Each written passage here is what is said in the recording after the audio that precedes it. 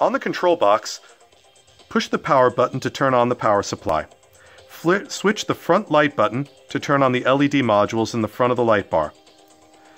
Switch the rear light button to turn on the LED modules in the rear of the light bar.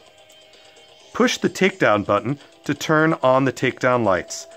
There are four modes of the takedown lights. Takedown lights on steady, takedown lights alternating, flashing simultaneously, or flashing bursts. The takedown lights can flash together with the main flashers. Push the alley button to turn on the alley lights.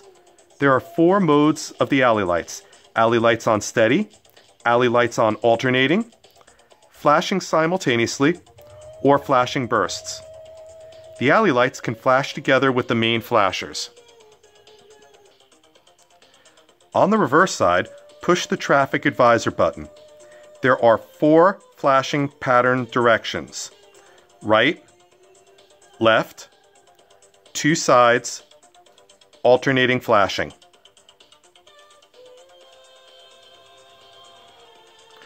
There are 19 flashing patterns Takedown lights and alley lights can flash together with the main flashers.